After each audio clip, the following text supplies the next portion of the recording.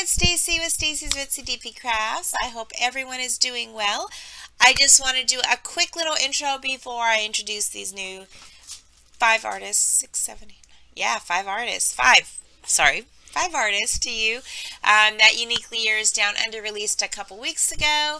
I was meaning to get this posted a lot sooner, but I was going through ups and downs, and I will go through that with my WIP and chat. But I want y'all guys to enjoy. These are some really, really huge artists I know you're going to love.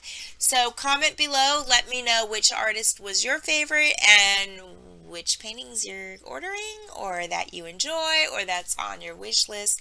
I've got five that I'm planning to get. Um, not all through the new releases, but they're all on the Uniquely Down Under website.